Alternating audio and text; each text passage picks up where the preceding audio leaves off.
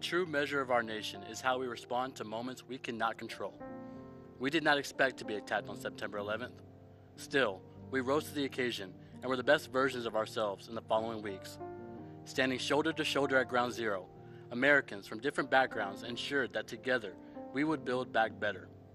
Today, in a time where anxiety and divisive rhetoric dominates our country's narrative, let us not forget our potential to be great, to be tolerant, empathetic, and defiant in the face of hatred. We as a country have seen better days, and when looking back at our darkest moments, we can move forward to see a greater tomorrow. 2,977 lives were lost on September 11th. 20 years later, it is our responsibility to love thy neighbor, defy evil at all costs, and never forget.